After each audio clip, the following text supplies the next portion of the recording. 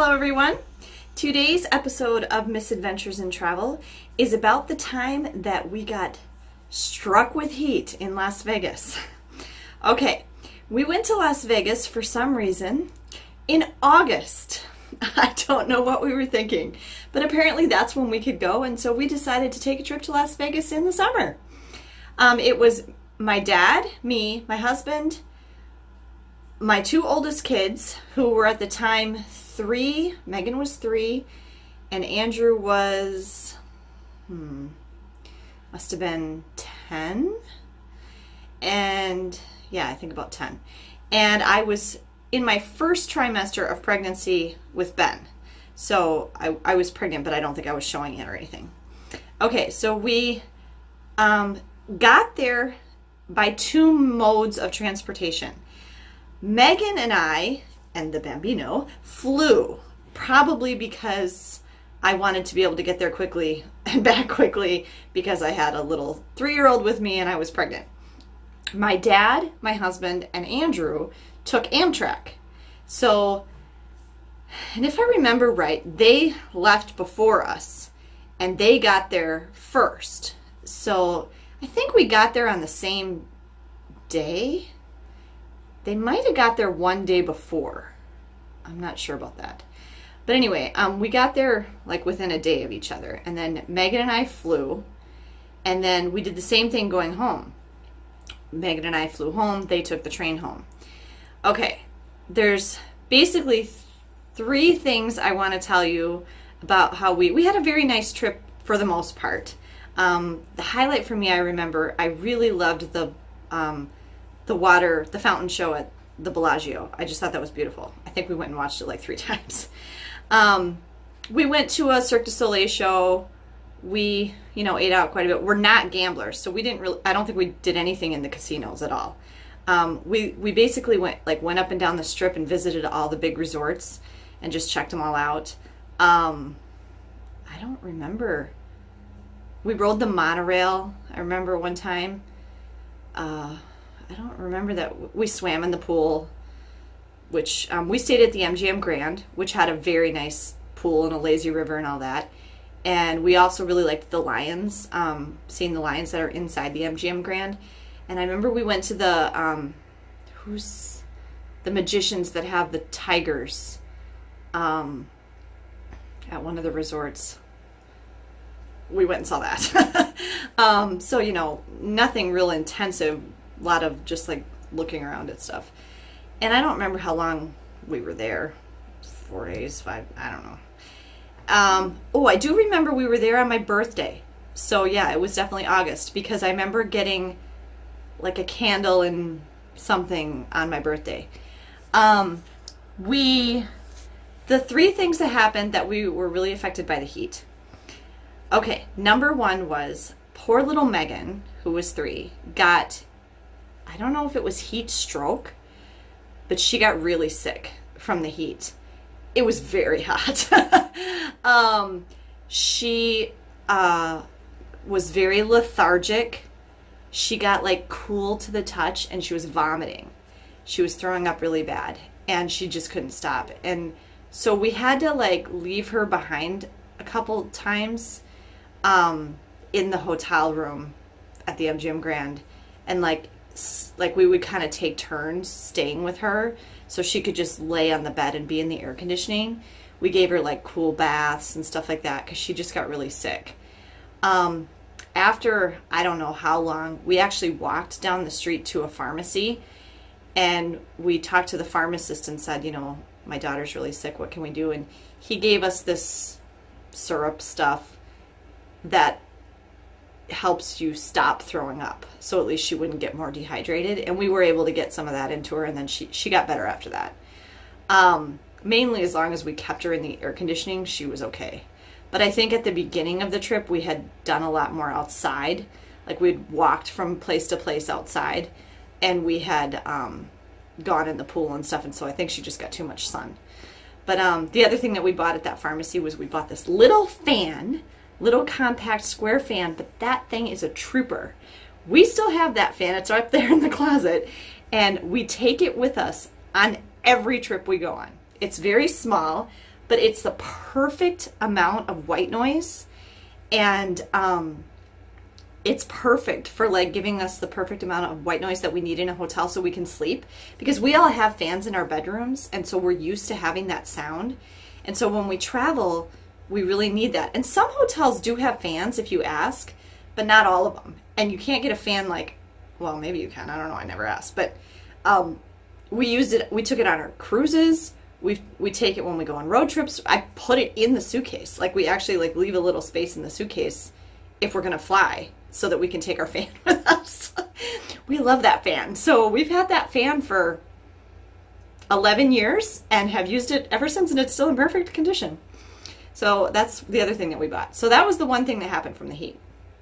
Then the second and third things happened basically at the end of the trip at the same time, but we didn't know about them until later because we were not together.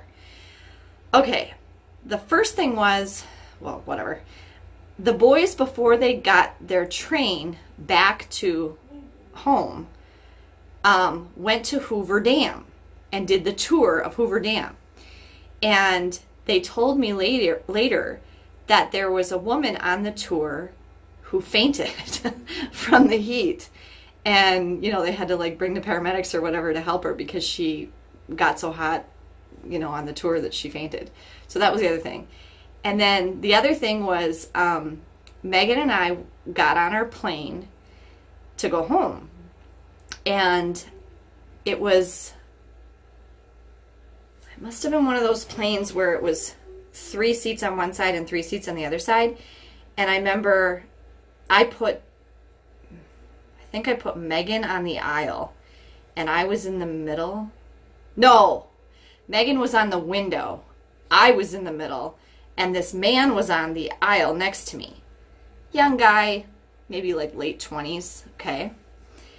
And we had a significant delay in taking off.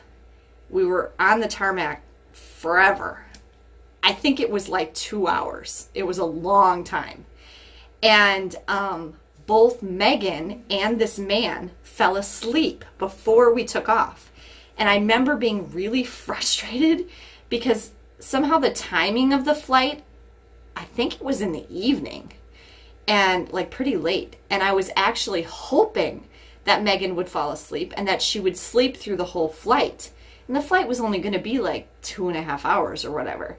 And so, you know, Las Vegas to Minneapolis, maybe three. And so I was like, really, like, she hadn't felt good. And I'm like, okay, this will be great. We'll get in the plane and she'll fall asleep on the flight. She'll sleep the whole way home. This will be great. But she fell asleep as soon as we got on the plane. And I was really frustrated because I was like, shoot, I don't want her to wake up right when we take off. And then she'll be awake the whole flight. Now I've got to entertain her and keep her from, you know, fussing. And I don't remember if she did wake up. I think she still slept. I think she woke up when we took off, but I think I like gave her a snack or something and then she fell back asleep again. Because I don't remember having trouble with her on the flight. Um, my kids have always all been really good flyers. I've never had really any issues with my kids with behavior on planes or anything. They're all very good about it, keeping themselves entertained. I pack good.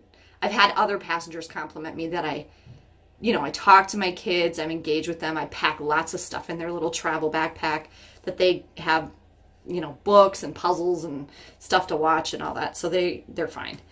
But anyway, um, the guy next to me had fallen asleep and he was zonked for the whole time we were waiting to take off. Here's what the deal was with why we couldn't take off. It was so hot. Remember, Las Vegas in August. it was so hot that the pilot explained to us that the runway had melted. the tar of the runway or whatever. Aren't they concrete? I don't know.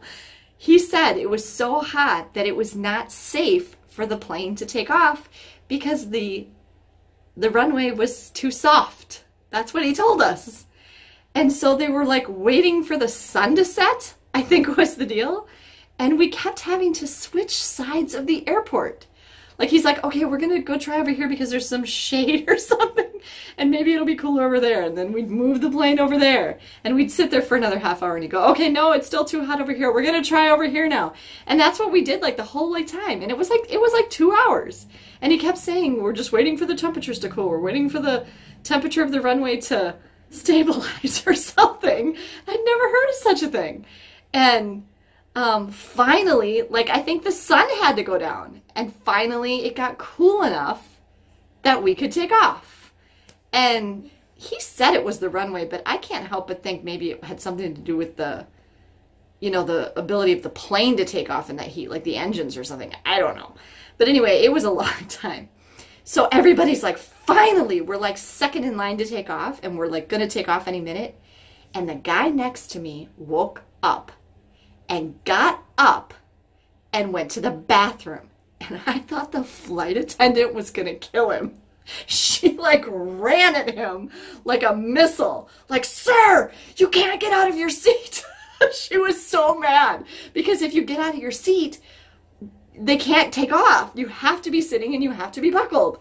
And so she like freaked out because, and I think he, he got into the bathroom Thankfully, he obviously just had to pee because he came back out pretty quickly and she like jerked him back and stuck him in his seat and she's like, don't move. And so everybody around us was like so mad at this guy because they thought, you know, we'd waited so long to take off and we were already so delayed. And we thought, oh man, we're going to get delayed again because this idiot got up and went to the bathroom. But anyway, I don't think he got up the rest of the flight. So anyway, that was my story of dealing with the heat on our trip to Las Vegas in August. And my tip for you for this one would be don't go to Las Vegas in August. it's really, really hot. I mean, we still had a very enjoyable time, but um, anytime that you travel anywhere where there's heat, which unfortunately is a lot of the time now. I mean, with climate change and everything, pretty much the whole world's just a big furnace. So I don't know, what are you going to do? We're all just going to have to adapt. But um, that was kind of just a funny one. So um, enjoy uh, this video. I hope you enjoyed this video and I hope you'll join me for my next one. I think I have three or four more of these to do. And I thank you for watching and hit the subscribe the notification button and I will see you guys next time. Have a good day.